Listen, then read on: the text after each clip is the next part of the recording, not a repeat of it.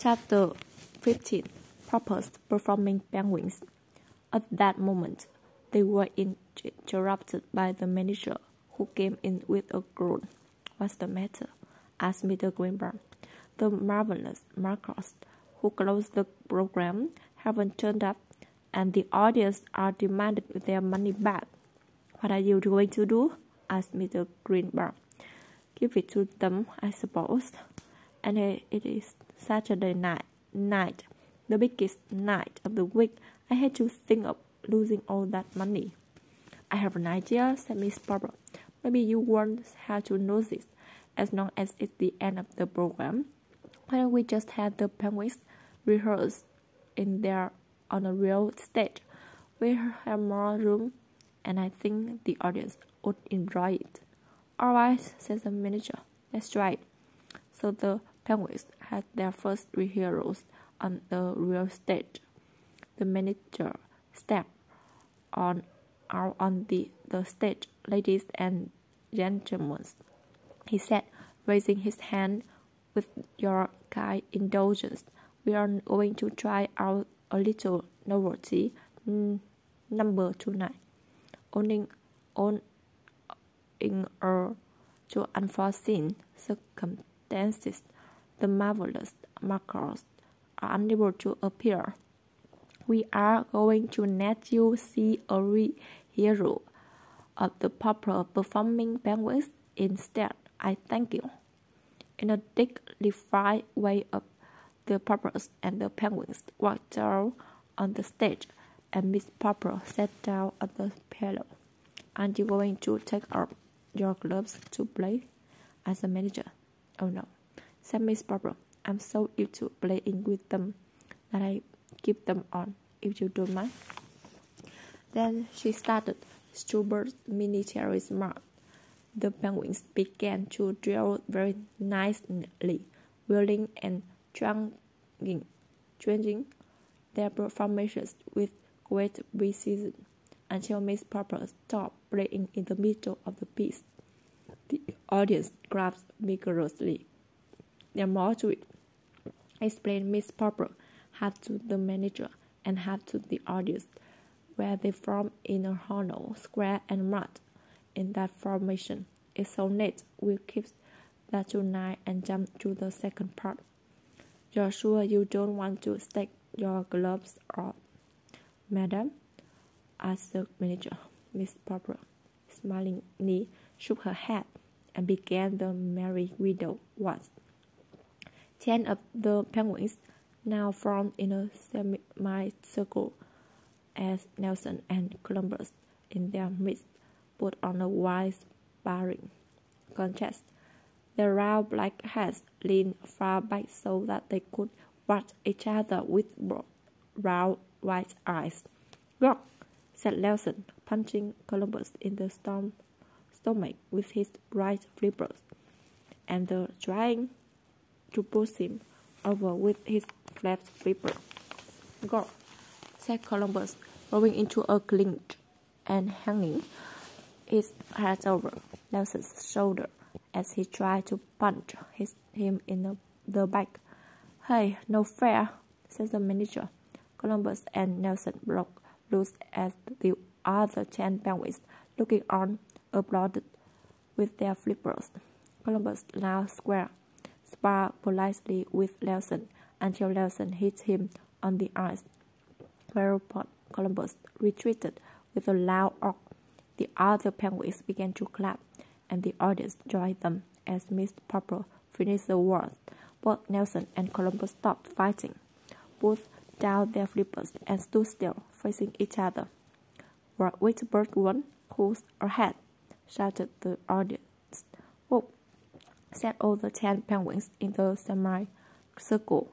This must have meant look, for Nelson turned to look at them, and Columbus immediately punched him in the stomach with one flipper and knocked him down with the other. Nelson lay there with his eyes closed. Columbus then counted ten over the prostrate Nelson, and again the ten other penguins applauded. That's part of the act, explained Jolly. The other penguins all like Columbus to win, and so they all say at the end. Had always makes Nelson look away, so Columbus can soak him good. Nelson now rose to his, to his feet, and all the penguins formed in a row and bowed to the manager. Thank you, said the manager, bowing back. Now comes part three, said Mr. Popper. Oh, Papa, said Miss Popper, you forgot to bring the two painting step ladders and the board. That's all right, said the manager. I'll get the stage hands to bring some. In no time at all, a pair of ladders and a board were brought in, and Mr. Popper and the children showed them how the ladders had to be set up with the board resting on top. Then Miss Popper began playing the pretty descriptive piece by the brook. At this point in the act, the penguins always forgot their discipline and got dreadfully excited. They would all begin shouting at once to see which could be the first to climb the ladders. However, the children had always told Mr. Popper that the act was all the funnier for all this pushing and scrambling, and Mr. Popper supposed it was.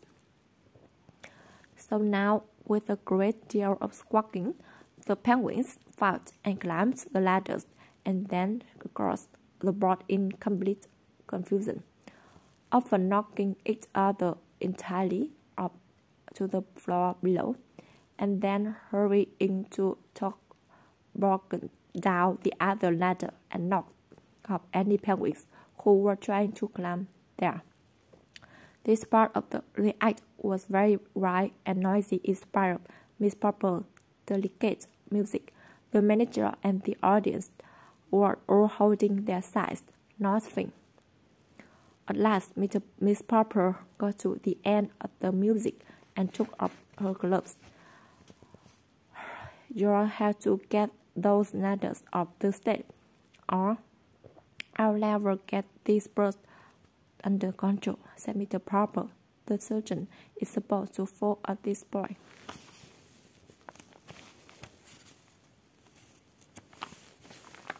So the manager gave the signal for the curtain to go down, and the audience stood up and cheered. When the ladders had been taken away, the managers had 12 ice cream cones brought in, and the penguins.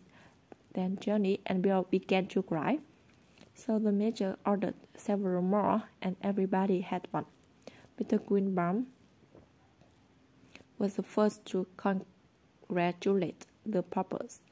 I don't mind telling you, Mr. Popper, that I think you got something absolutely unique in those birds. Your art is a sensation, and the way you helped out my friend the manager here shows that you're real choppers. The kind we lead in the show business. I like to predict that your penguins will soon be backing the biggest teachers from Oregon to men. And now to come to terms, Mr. Popper. He continues, How about a 10 week contract at $5,000 a week? Is that alright, Member?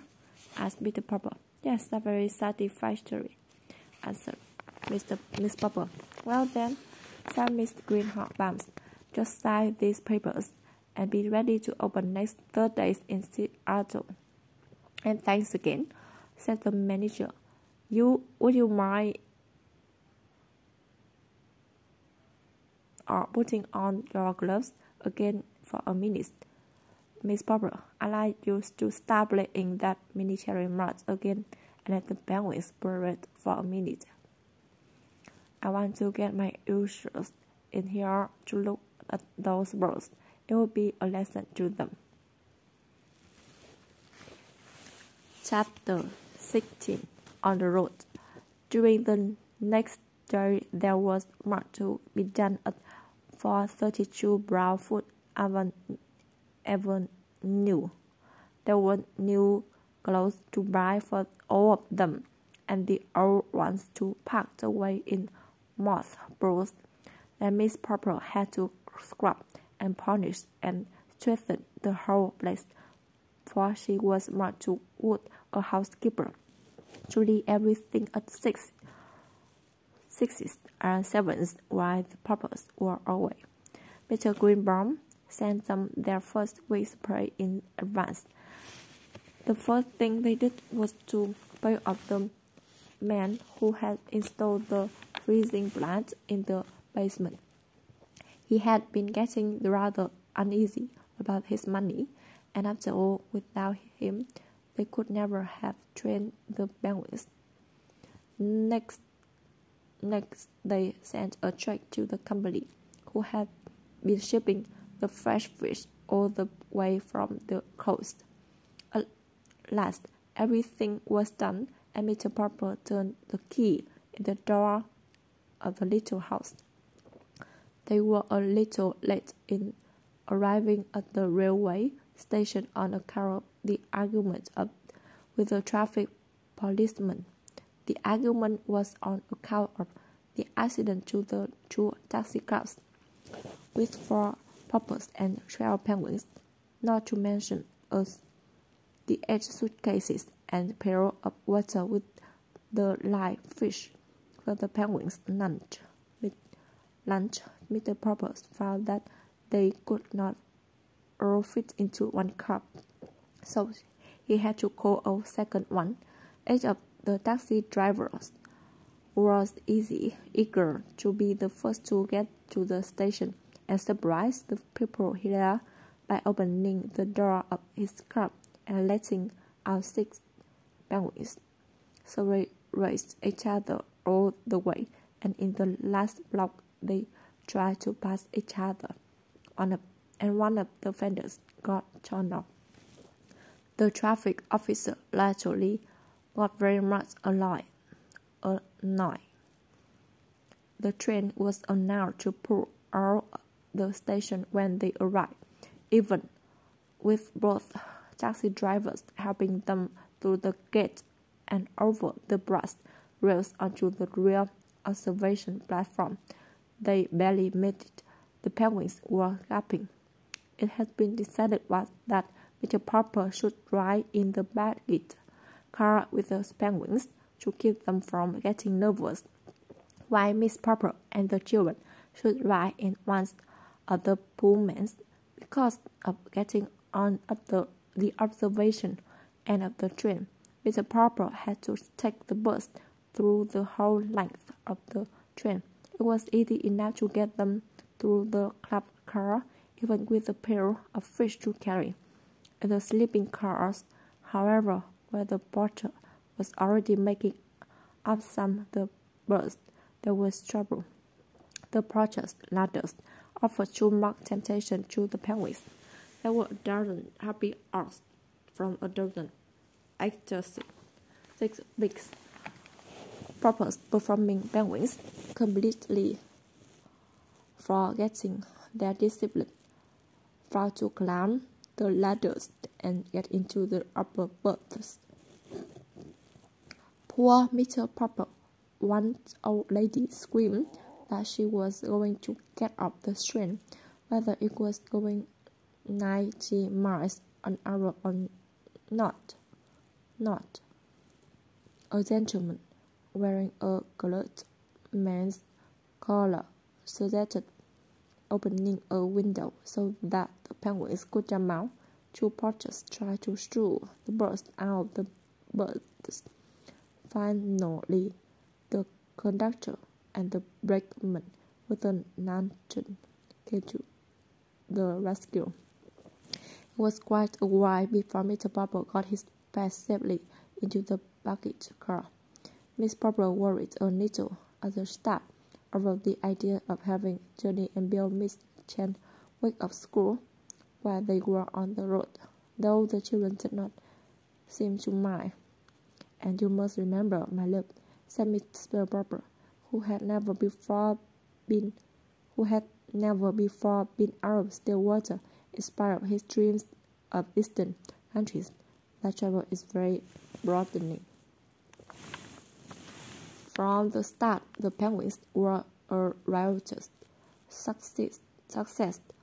Even their opening, opening performance in Seattle went up without a hitch, probably because they had already rehearsed on a real stage. It was here that the penguins added a little novel, novelty number of their own to the program. They were the first thing to the bill when they